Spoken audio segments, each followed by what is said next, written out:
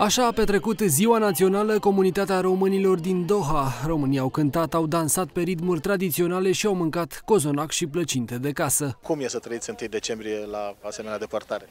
În, prim, Ați obișnuit? în primul rând suntem obișnuiți, suntem acomodați aici în, uh, în uh, Qatar de aproape 9 ani de zile, um, dar 1 decembrie, după cum vedeți, reușim să adunăm un grup destul de mare de români și avem ocazia să cântăm imnul alături de prieteni, alături de, de români ai noștri și este un sentiment extraordinar. 1 decembrie înseamnă altceva pentru noi. Chiar ziceam, 1 decembrie întotdeauna purtăm ia și suntem mândri că suntem români. Se mai simte sentimentul acesta de mândrie? Mi se pare că se simte poate mai puternic peste hotare decât în România. La peste 4.000 de kilometri de țară, Ziua Națională a României a fost sărbătorită și de comunitatea românească din Doha. Românii de aici au venit împreună cu copii, îmbrăcați în costume populare și au sărbătorit mâncând cozonac.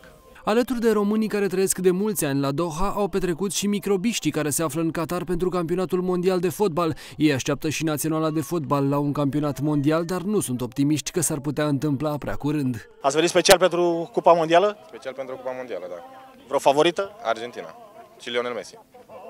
Cum vi s-a părut că s-a mișcat până acum? Sub așteptări, însă e loc de progres. Simțim mult patriotism și ar fi fost bine să fie și reprezentativa noastră aici.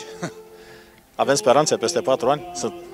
Nu. Cea mai mare surpriză înregistrată la campionatul mondial de fotbal s-a petrecut aseară când Naționala Germaniei a părăsit competiția încă din faza grupelor și această seară oferă spectacol. De la ora 21 se vor disputa partidele Brazilia-Camerun și Serbia-Elveția. Brazilia este deja calificată, iar toate celelalte au șanse la locul 2 în grupă. Campionatul mondial de fotbal este transmis în exclusivitate de televiziunea română.